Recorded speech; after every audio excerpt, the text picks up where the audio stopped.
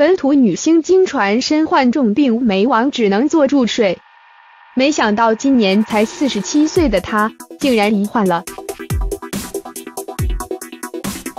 本土剧女星梁又楠是台湾非常出色的女演员，今年四十七岁的她靠住姣好的面貌被誉媒体为“美魔女”，而近日她在本土剧《嫁妆风水世家》的演出也获得许多粉丝的肯定。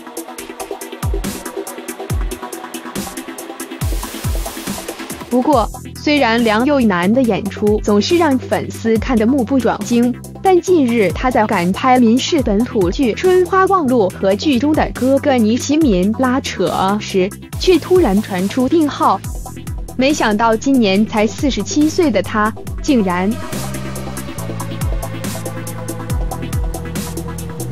原来身材高挑的梁又楠常年饱受椎退化性病变之苦。连带的害整个肩颈上背的肌肉随时都处于紧绷的状态。据说身体不适的他这半年多来状况恶化的很严重，已经好久好久没有好好睡一觉了。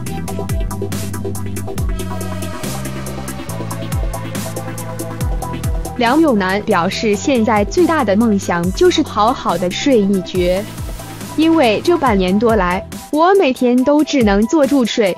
每次最多睡个三十四十分钟，就算吃安眠药，也只能睡两三个小时就醒了。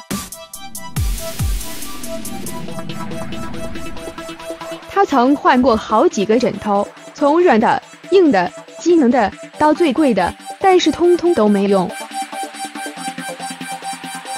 另外，梁又楠也大叹自己看遍全台的中西医，虽然按摩。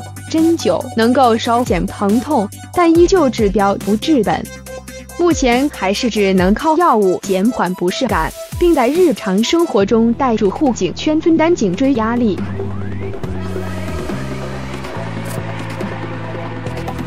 敬业的梁又楠表示，只有在拍戏的时候才会拿掉，不过演出时难免会有大动作，因此自己也只能更加小心了。